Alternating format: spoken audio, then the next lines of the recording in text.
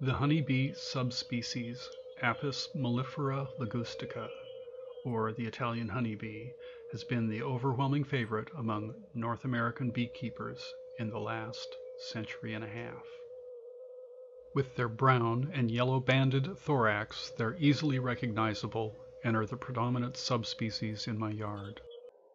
Honeybees are the first bee I notice in spring and their number increases through the summer with warmer temperatures and the number of flowering trees and plants.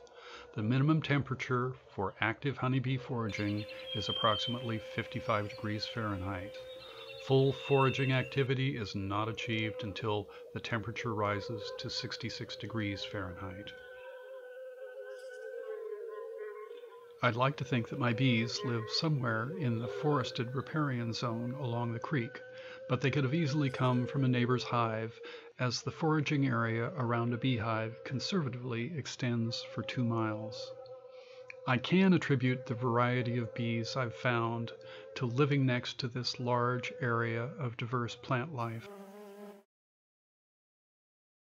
True honeybees, genus Apis, have arguably the most complex social behavior among bees that a honey bee colony's population increases with the available food sources and weather makes them easier to manage than the more static reproductive cycle of native solitary bees.